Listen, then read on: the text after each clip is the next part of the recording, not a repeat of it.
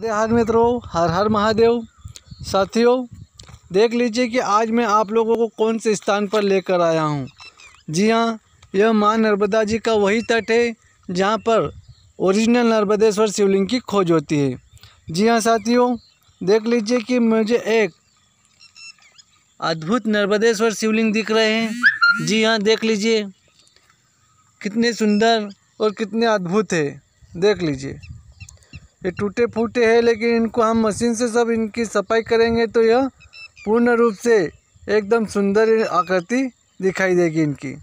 जी हाँ साथियों, ऐसे ही कई प्रकार के नर्मदेश्वर शिवलिंग माँ नर्मदा जी के तट पर पाए जाते हैं।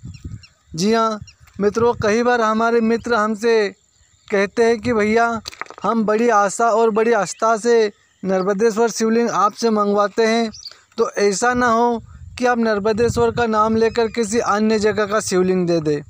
तो मित्रों, आप निश्चिंत रहना, ऐसा कभी नहीं होगा और कभी नहीं होने भी नहीं देंगे हम।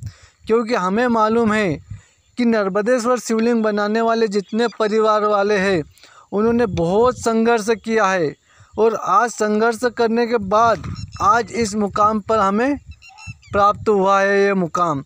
तो हम यह मुकाम असली और नकली के चक्कर में आकर ऐसे ही नहीं जाने देंगे। हमारे से जितना भी बनेगा, उतना हम आप लोगों को ओरिजिनल ही देंगे। न कि आपको नकली देंगे। जी हाँ साथियों, आप निश्चिंत रहना। माँ नर्मदा जी का ही शिवलिंग आपको प्राप्त होगा। हर हर महादेव, हर घर महादेव। ओम नमः शिवाय।